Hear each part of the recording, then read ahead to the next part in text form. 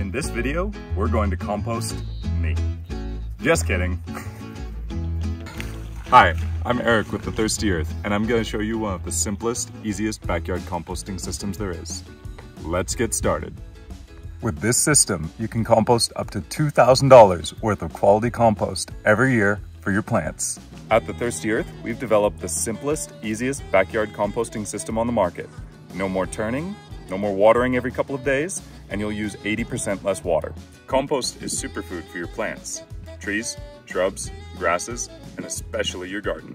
Composting your waste is one of the best things you can do for the environment, making sure things like this and this don't end up in the landfill. We prefer using these two bins over loose piles because one, it attracts rodents. Two, if your pets eat the compost before it's done cooking, it can make them really sick. Three, you use a lot of water on piles. And four, this holds the compost together more densely, which is better for the composting process. And also, piles are prone to leaves, grass clippings, and similar materials blowing away with the wind. Tumblers are not my favorite because you have to tumble them every couple of days and you have to water them every couple of days, and they don't have enough volume to really get the process going properly. They're just not great.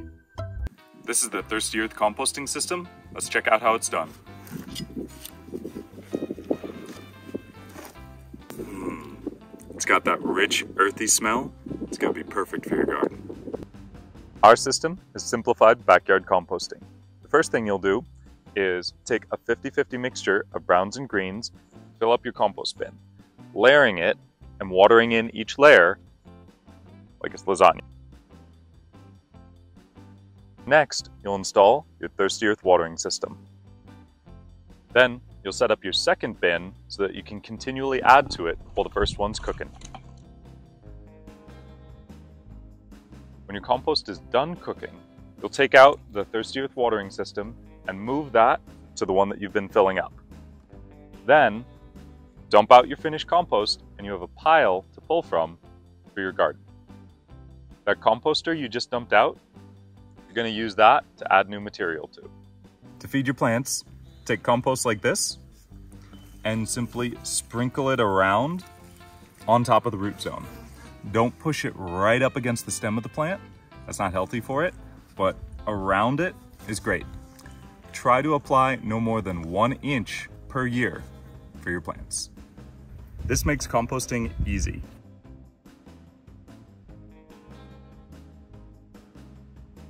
When you're composting, you'll need a variety of ingredients. You'll need two, two, mostly called greens and browns. Greens are fresh, high nitrogen uh, materials like fresh cut grass, food scraps, herbivore manures, and even spent mushroom substrate. While browns are more dry. They're just carbon, not nitrogen. Here we've got shredded cardboard, hay, paper, and something kind of special. Got some wood ash and some charcoal. So this is actually, this wood uh, charcoal is gonna end up as biochar as it gets activated by going through the compost process. It's one of the best things you can do for your soil. You wanna get that close to about a 50-50 ratio of the two.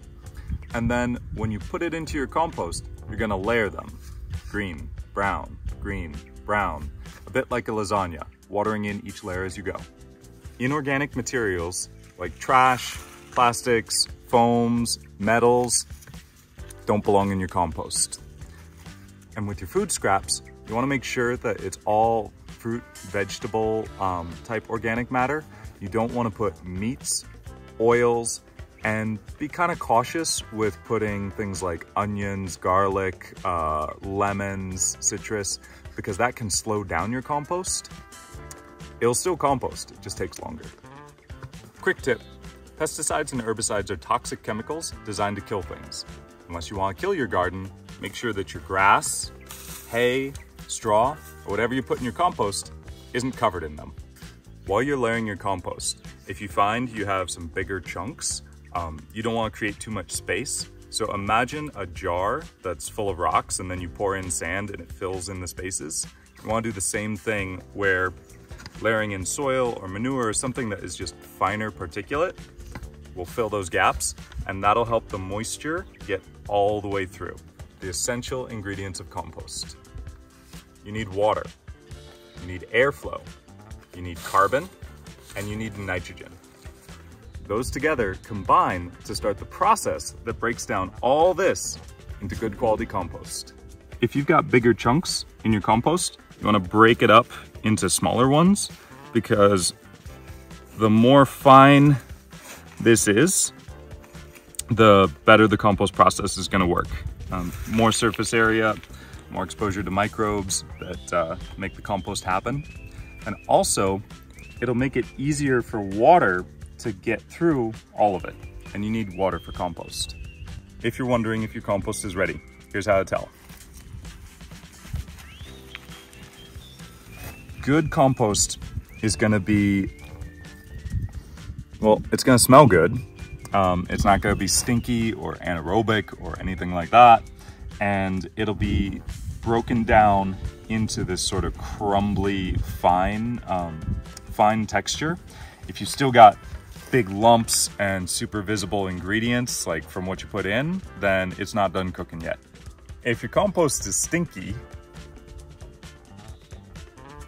then uh, you need to work on your carbon to nitrogen ratio. You've got too much nitrogen and not enough airflow.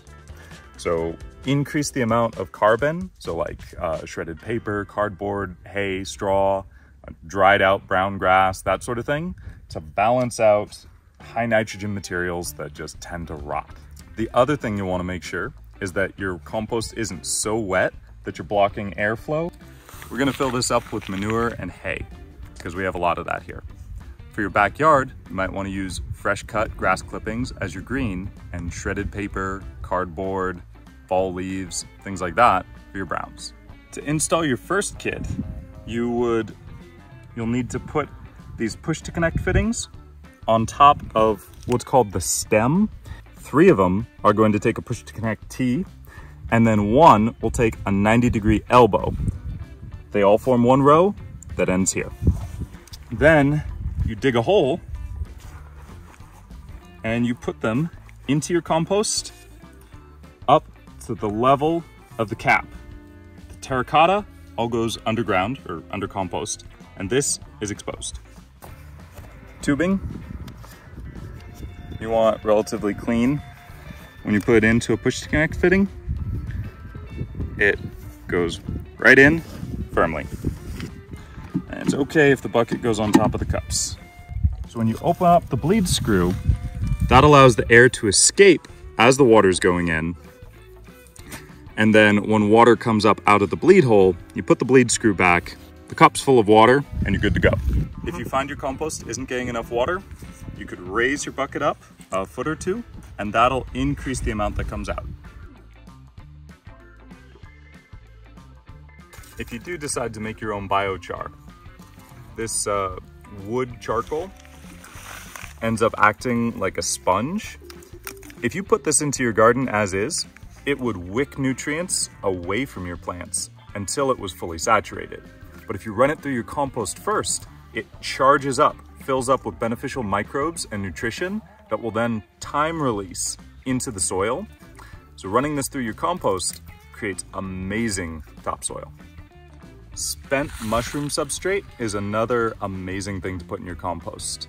Um, it's really high in organic matter and oh, it's just wonderful. You'll get tons of nutrition from it. And if you're lucky, maybe some of it will grow in there. And then the mycelium, if it colonizes your compost, will help with moisture retention and keeping the structure together. But it's totally not necessary to get good quality compost. So don't worry if you don't have any. If you need to get a little bit more aeration in your compost, such as if it's not getting up to temperature or if it's getting real stinky, there's a couple things you can do without having to turn it. You can take a spear, just a sharpened stick, and poke holes in it every so often. I like to do that about once a week if I need to. Or this long drill bit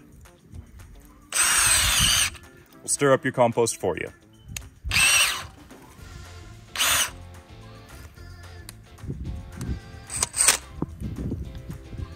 Some really cool nice to haves that can help you with your composting.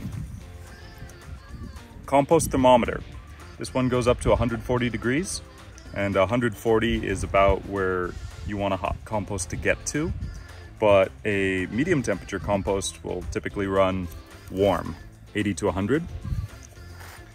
Your compost is probably gonna get warmer and then that can actually help you uh, keep it going over the winter. And normally we recommend that you pull out your kata cups for the winter, but in a compost that has good temperatures, you don't have to. You can keep cooking all year long.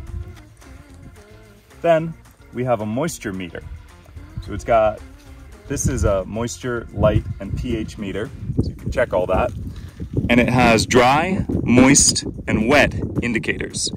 You want on the upper end of moist, just like this is here. It says wet, but it goes back down to moist in a second or two. And that'll tell you that your compost is good. If your compost raises in temperature and then drops towards the end, you can know your compost is done cooking when it gets more back down to room temperature and calms down.